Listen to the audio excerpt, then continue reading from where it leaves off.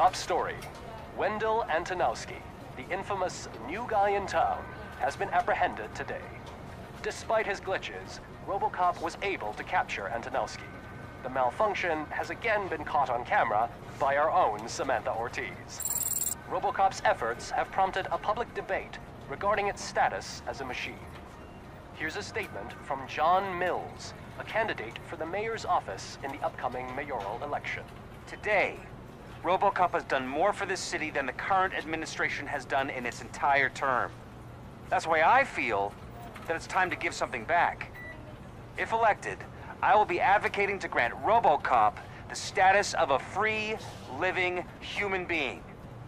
That's right. Vote Mills, vote RoboCop. Staying on the topic of OCP, the CEO of Omni Consumer Products suffered a heart attack earlier today. The self-made entrepreneur has been taken to the Gibson Memorial Hospital for observation. His condition is stable. We wish you a speedy recovery.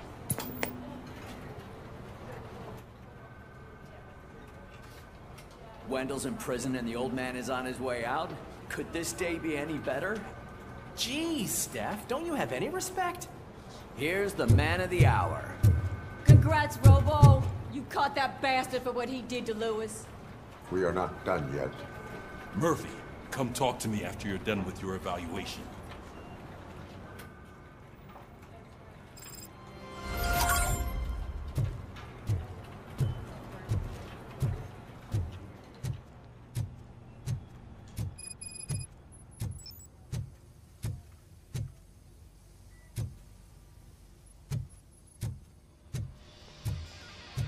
I knew he'd get him.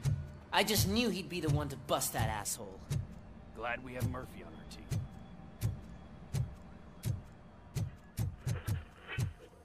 Is that the TV personality I keep seeing on television?